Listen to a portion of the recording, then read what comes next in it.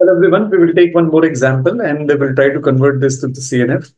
So this is a CFG और इस CFG में ऐसा दिख रहा है कि ये simplified CFG नहीं है क्योंकि इसमें नल प्रोडक्शन है। इस लैम्डा का भी मतलब नल प्रोडक्शन होता है। तो आइए सबसे पहले हम लोग इसको हम फैमिलियर टर्म लैम्डा को एप्सिलॉन में कन्वर्ट कर देते हैं।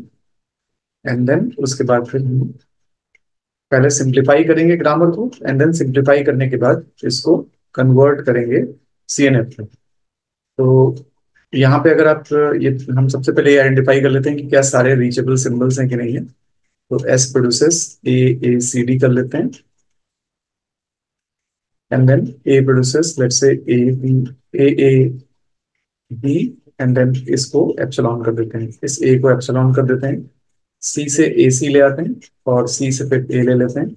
इस डी से हम लिख लेते हैं let say A D A and इस डी से एप्सिलॉन कर देते हैं। सो so, आप देख सकते हैं कि ए मुझे ले जाता है टर्मिनल सिंबल पे सी भी ले जाता है टर्मिनल सिंबल पे डी भी ले जाता है टर्मिनल सिंबल पे और एस भी मुझे लेके जाता है टर्मिनल सिंबल पे। इसका मतलब कि सारे के सारे सिंबल्स रीचेबल सिंबल्स हैं कोई भी ऐसा सिंबल नहीं है जो कि नॉन रीचेबल सिंबल तो एक स्टेप तो हमने इसमें कर लिया। तो अब इस एक स्टेप करने के बाद अब हम नेक्स्ट स्टेप करते हैं। ये देखते हैं कि इसमें जितने भी नल प्रोडक्शन हैं वो उनको हम रिमूव कर देते हैं।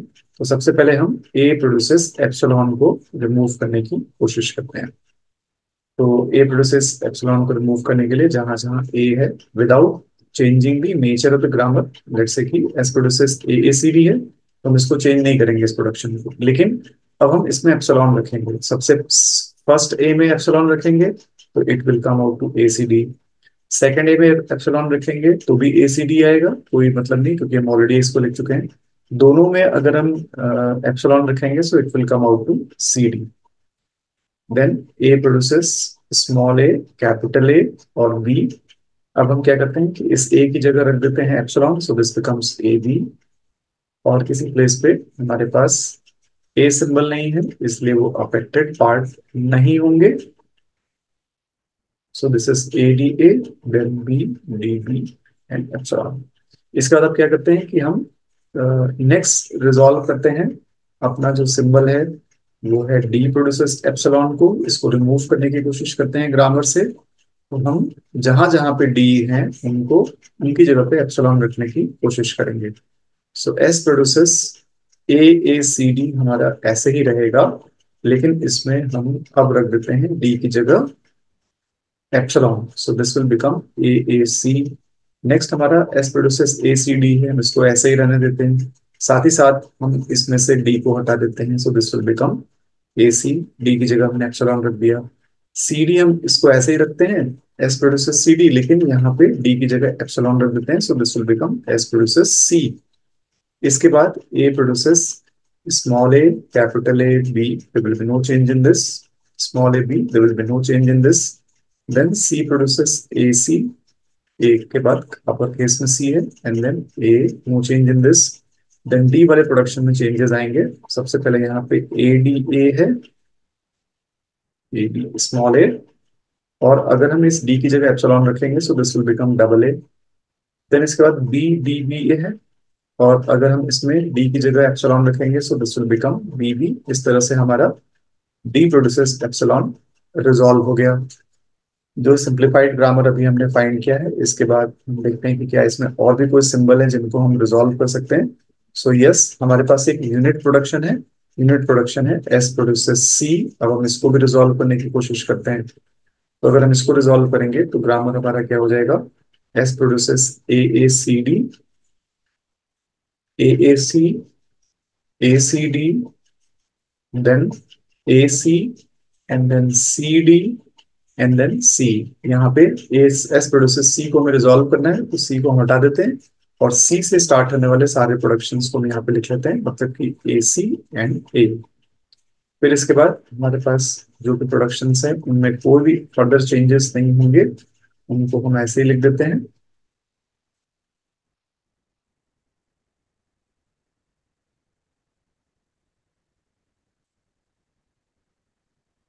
And B B okay so अब देखते हैं कि कौन कौन से प्रोडक्शन हमारे ऑलरेडी चॉम्स की नॉर्मल फॉर्म में किनको हमें कन्वर्ट करना है, या फिर हम वन बाई वन स्टार्ट कर सकते हैं। तो पहला हमारा जो प्रोडक्शन है S produces A A C D इसको हमें रिजॉल्व करना है। तो हम मान लेते हैं कि एस प्रोड्यूसेस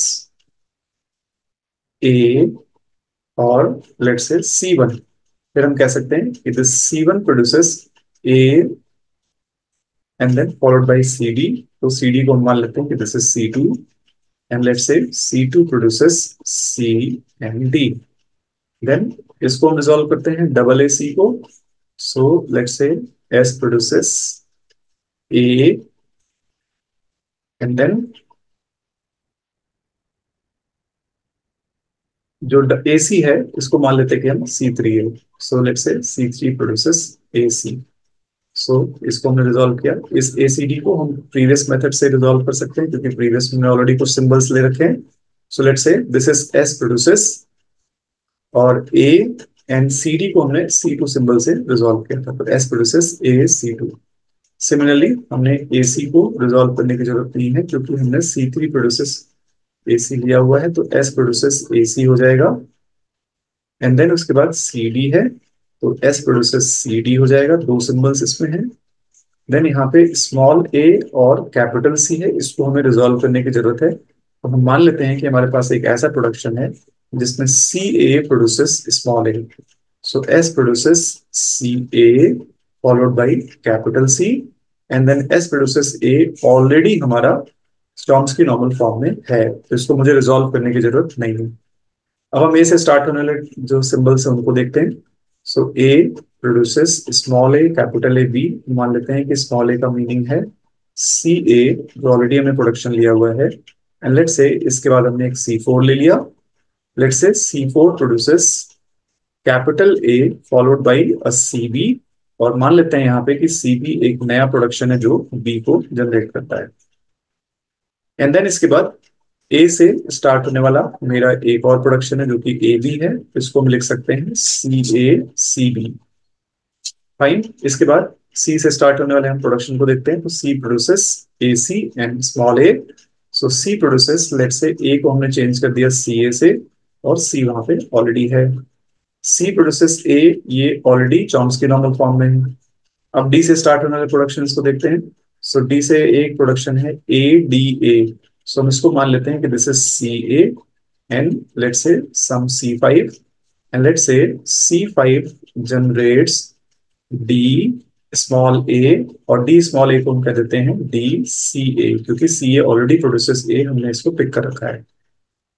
देन हमारे पास है डी प्रोड्यूसेस ए ए तो हम इसको कह सकते हैं कि सी ए सी ए देन हमारे पास D produces small b D B है तो इसको मान सकते हैं हम C B and followed by some C six और सी सिक्स को हम कह सकते हैं कि this is equals to D followed by C B क्योंकि डी बी है इसको तो हम इसको कह देंगे डी सी बी एक और प्रोडक्शन हमारे पास है डी प्रोड्यूसेस बी बी इसको हम कह सकते हैं कि C B and C B तो हमारे पास जो प्रोडक्शन आए, अब इनकी हम नंबरिंग अगर कर लें so one two three four five six seven eight and nine 10, 11, and 12, 13, and then this is 14, let's say, this is 15, this is 16, 17, 18, 19, 20, 21, 22, and 23. These are the 23 production in the Chomsky normal form CFG.